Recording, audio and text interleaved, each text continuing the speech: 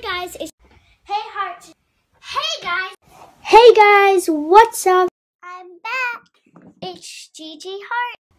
H A R T E. Hey guys, what's up? It's Gigi Harte. Welcome back to my newest video. And I have been getting a lot of requests on how to do splits, how do you get your split, um, why can't I get my split? I'm getting a lot of that in the comments, questions, and all that stuff. Well, today's video, if you have not already guessed, I'm going to be showing you how to do a split. Remember guys, this takes years. I've been doing splits for six years now, so that's why I know how to do my splits. So don't forget to like, comment, and subscribe. And let's get started with this video. Okay guys, you can simply follow along. So the first thing we're going to do is swing our arms back and forth while we're standing and then we're going to drop down and try to touch your toes. This is stretching the back of your calves and like the back of your legs so you should feel it right there. And try not to bend your knees or less you won't get the stretching. You can also then grab your elbows and rock back and forth and swing and then bend your knees and straighten and then you can bend your knees again and straighten and then just swing some more. And this is just to get the blood flowing through your head and stuff. Then simply bend your knees and slowly roll up.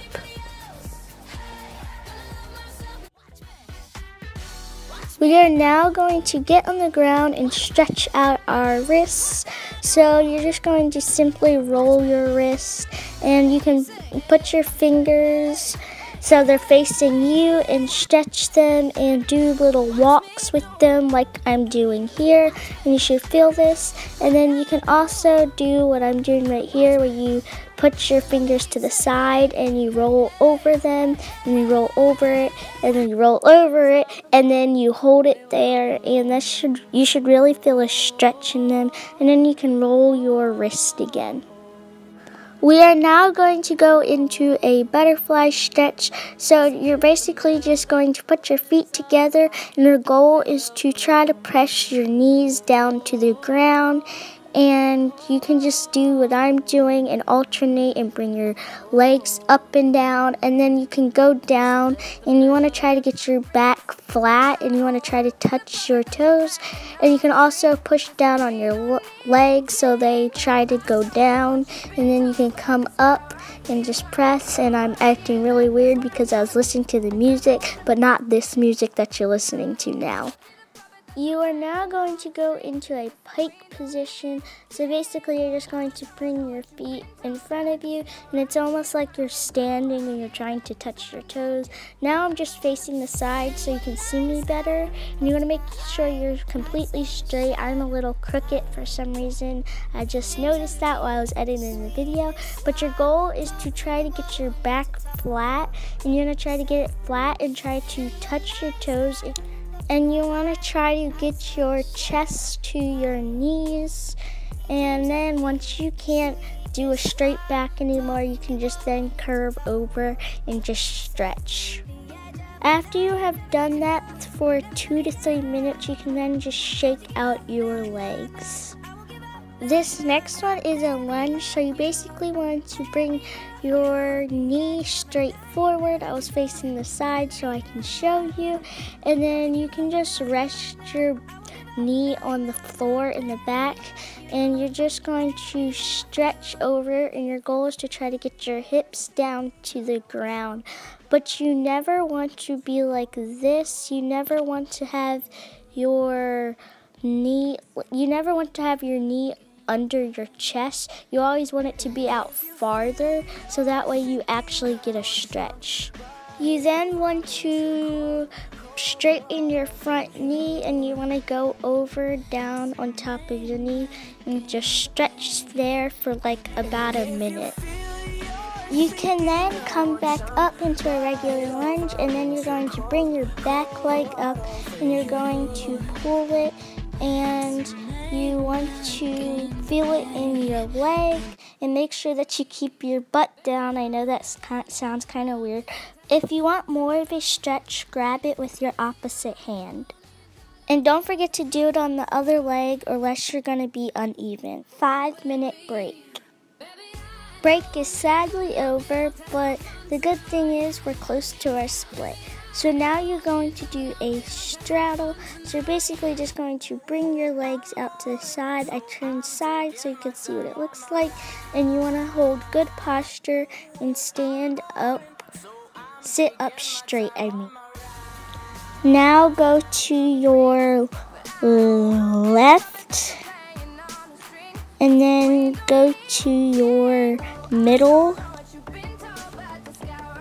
and go to your right and then middle again. Make sure when you're in your straddle and you go down to the middle, make sure this doesn't happen and your knees don't turn in because then you're not getting a stretch and it's not the proper way. You want to make sure your knee stays up to the ceiling and you want to go down. You might not be able to go all the way down, but just make sure that your knee is up to the ceiling. You can also now go into your straddle and hold yourself and you want to get your hips over top of your legs. Um, don't go backwards because then your hips over, aren't over top of your legs. Personally, I like to lean on my elbows. And then stretch out your legs, or you can do it the funky way I'm doing it. Guys, guess what? It's time to do our splits. So there are two ways you can do it. You can go into that lunge position that we did and then slide your front foot forward and just kind of ease into it. Or you can stand up and slide down into it and put your hands down on the ground.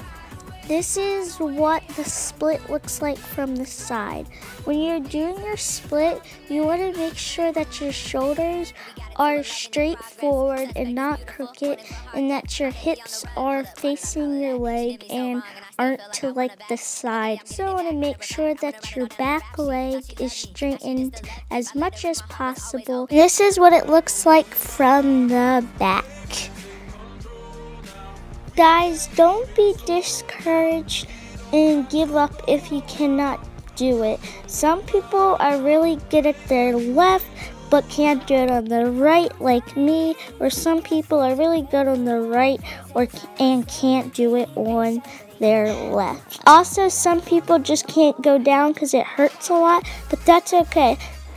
Just make sure that your front leg is always straight. I'd rather you have your back leg bent than your front leg bent. Okay, guys, that was it. Trust me, if you do this five days a week and take a break on Saturdays and Sundays and you do this every day, trust me, you will get it. So, this is what it looks like from the front side and back. And when you get good at it, you can start going over your front leg and your back leg. So I wish you a good luck. Okay guys, that was it. As you see, I have lots of energy because I am very well stretched and I feel good. My legs feel like a rubber band. Let me know if this helped you. Please comment down below when you get your split or if you're close to your split. So thank you so much for watching. Once again, don't forget to like, comment, and subscribe. And I will see you, you, you, in my next video. Bye. Love you guys.